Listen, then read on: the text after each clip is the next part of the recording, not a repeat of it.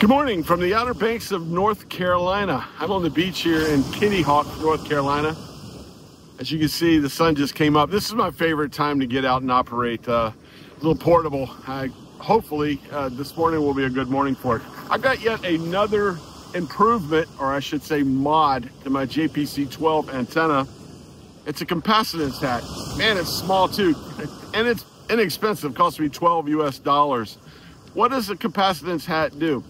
It improves radiation resistance, which in turn uh, transfers capacitance kind of up the uh, antenna. This is really good for an antenna with uh, a coil in the middle. Also, what this thing is doing is it's increasing the the electrical length of the antenna, much like the coil's doing. So it does a lot of things. One thing that um, I've heard that it does, and I want to try, is that it improves, basically lowers the takeoff angle of the antenna for DX. So if you imagine this balloon here is the radiation pattern coming off the antenna, with a capacitance hat, you're kind of squishing it down and making the radiation go out. And don't worry, I'm gonna pop this and put it in my pocket. I don't want any sea turtles uh, getting a hold of this balloon here. So lovely morning here in Kitty Hawk, North Carolina. I'm gonna get my JPC-12 up. I'm gonna add the capacitor hat to it. And um, let's see if we can uh, make some DX contacts this morning. Stick around.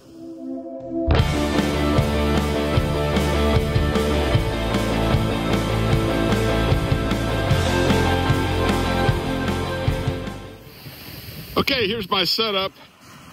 I've got the uh, Xiegu G90 with a LiFePO4 6 amp hour battery, little battery, little easy one, short piece of coax. This is actually the coax that uh, came with my uh, Radioddity HF009.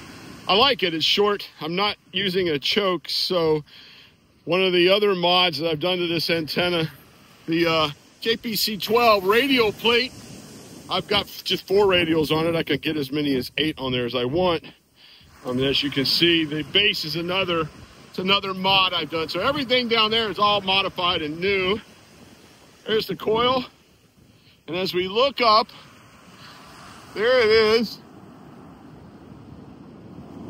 Fully extended, there's the capacitance hat. Okay, let's, uh, I've already tuned it and I will tell you this, the normal spot on the coil for uh, for 20 meters is a little different. It's up a couple notches, so it definitely did some shortening of it.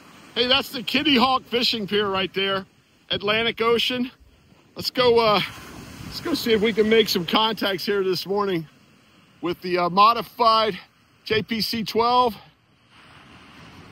and the capacitance hat on the top. This is a pretty easy install. When I first uh, put it up. Just got a one little Allen wrench. You just screw it on the top, put the little, they're like little telescopic uh, whips on it and just extend them out. So here we go. Let's try to make some contacts. Well, the 20 meter band is just flat light right now. It's not, it's not open yet. It's really just nothing happening. 40 meters and I'm here in a net with some guys in, in Australia on there. Man, it's a stretch. I've never done a 40 meter contact this late in the morning here on the beach, but let's, let's give it a try. Yes, this is Kilo 4 Oscar, Golf Oscar, 20 watts portable on the beach in the Outer Banks of North Carolina. Victor, Kilo 3, Echo, Kilo, do you copy? Rob, do you copy Golf Oscar? Uh, negative copy. Who was calling me? Yes, Kilo 4 something Golf Oscar was calling you. The Kilo 4 Oscar, Golf Oscar, portable on the beach in Carolina, calling uh, Rob. It's Kilowatt 4 Oscar, Golf Oscar. He's 20 watts on the beach in North Carolina. Okay, 20 watts on the beach in North Carolina. Uh, four and two. Four and two. Four and two. Give it up. QSL, QSL, QSL, you are five and five. Five and five on the beach here, Rob. Thanks for good to get a contact there on 40 meters. Wow, great morning. Well, that was a struggle. I don't even know if I would put me in the log on that one. He was that was a struggle to go, uh, make that contact, but was was good to uh, try to make contact, or at least I think Rob VK3 uh, Echo Kilo heard me for a minute or so there. He did give me a four by three uh, might have been a little generous, but uh, 40 meters, I that's the first for me here on the beach this late in the morning. Uh, maybe if it was still dark or uh, really at the crack of dawn would be different, but uh, it's getting a little later now. Hopefully 20 is going to open up here in just a bit, and we'll try to see how we can do on the 20 meter band. CQ 20 meters, CQ 20 meters, Kilo 4, Oscar, Golf, Oscar calling CQ, CQ on 20. CQ, CQ, CQ, Kilo 4, Oscar, Golf, Oscar. Portable on the beach, the Outer Banks of North Carolina. CQ, CQ.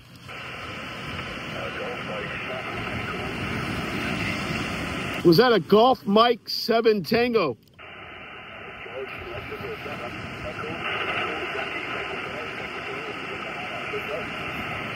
Uh, very light copy. Ecuador, Ecuador, Yokohama, EEY. Can one more time with a call and try to pick it out of the uh, noise here.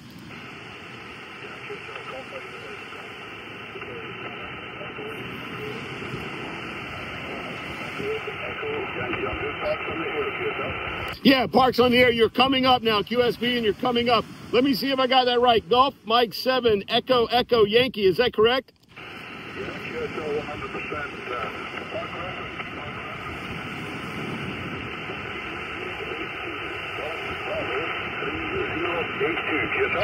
QSL, QSL, I've got it. The name here is Walt, Whiskey Alpha, Lima Tango. I'm 20 watts portable on the beach on the Outer Banks of North Carolina. Thanks for the great DX contact this morning, my friend. Hello, CQ. Hello, CQ. Kilo 4, Oscar Golf Oscar calling CQ, CQ. K4OGO calling CQ, CQ. Anyone? Anyone?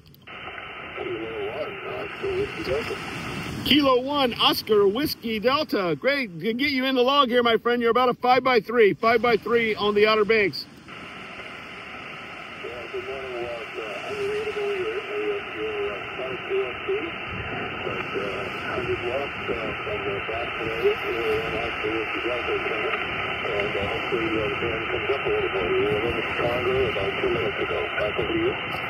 Yeah, Roger that. Well, thanks for coming back to me. I think the band's just just hasn't woke up yet. I made a contact on 40 a little while ago over to VK, so um, waiting on 20 to come alive here for sure. I love 20 meters in the morning. Great to get you in the log there, my friend. 73.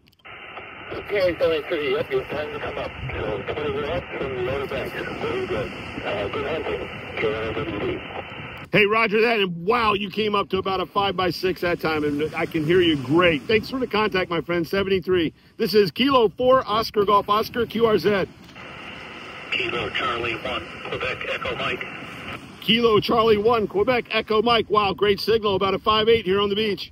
Hey, thanks, Walt. This is uh, Steve up on Cape Cod. Uh, just uh, tuning around. Heard you uh, just got back from walking the dog, so I thought I'd drop in and say hi this morning. Hey, thanks for dropping in. This is one of those mornings when you absolutely hear nothing at all on the band and you say, what the heck, I'm going to call CQ. And wow, it has worked. Great to get you in the log. Thanks a lot, Walt. Uh, thanks for the...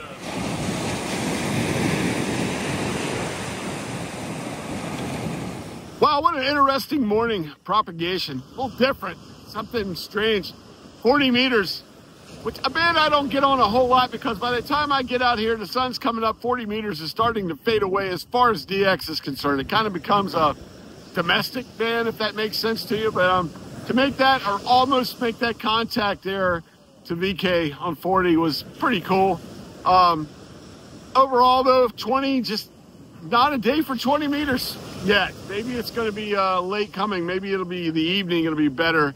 So the mornings as usual for me. But when all else fails, call CQ, right? And uh, wow, made a DX contact by calling CQ, which is a rarity for me as well. So interesting morning. The capacitance hat, things I noticed when I looked at the um, the scan on it, um, it the Q kind of opens up. It becomes more broadband. I noticed that right away. Uh, but when analyzing the antenna, also, um, like I said, uh, the coil, definitely the antenna is shorter and it's, um, you know, electrically longer. You don't have to use that thing on the JPC 12 antenna. You could probably use it on anything. I might try it on my um, Radioddity HF009. That has a very, very, you know, high Q there. But um, I want to try it on some other antennas. For 12 bucks, what a great thing to play with. So I'll put a link to where I got mine. Mine, it was from AliExpress. I'll put a link below. I bought it, no affiliation with them. If just if you want to play around with a cap hat, go grab one and do it. I, I enjoyed it. Of all the uh, things I've now I've had really this JPC 12 antenna has been fun to play with.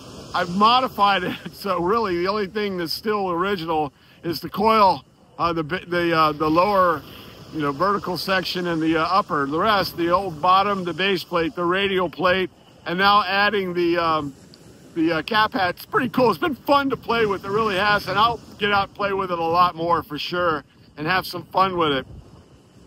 Wish I had time to stay out here and play on 20 a little bit more, but I want to do some other things today. I'm going to go up, jump in the shower, and uh, me and my beautiful bride are going to go out and do a little exploring here in the Outer Banks and maybe grab something to eat. So uh, come along with us.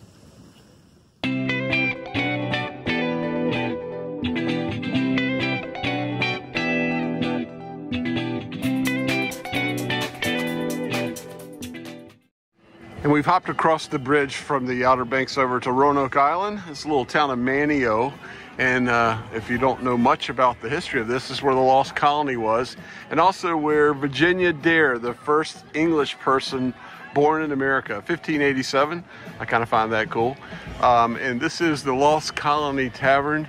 We're going to get us some fish and chips. And if you have my book, you know that this place is in the book, so if it looks familiar, this is my spot to get traditional fish and chips. Let's go inside. Okay, here we go. We got our fish and chips.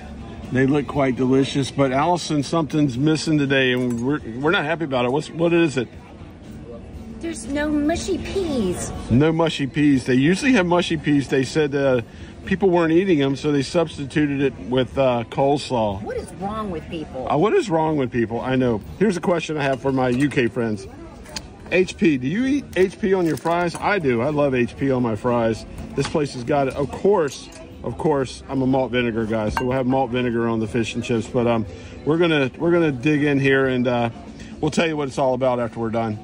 Well, that was great. We ended up having to sit outside and uh, enjoy it. It is a hot day, man. It's really hot.